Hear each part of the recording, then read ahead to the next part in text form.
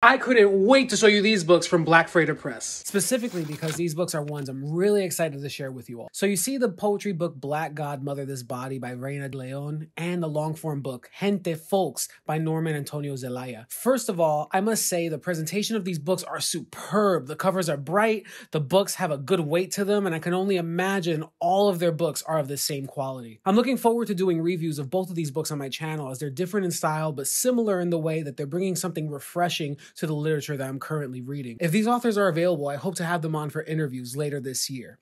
I'm drawn to Black Freighter Press's mission statement because they aim to create a world where the collective determines cultural reality and are committed to the exploration of liberation using art form to transform consciousness. Specifically, they're a platform for Black and Brown writers to honor ancestry and propel radical imagination. If this sounds like work you're interested in, you can pick up both of these titles. Link is in the description.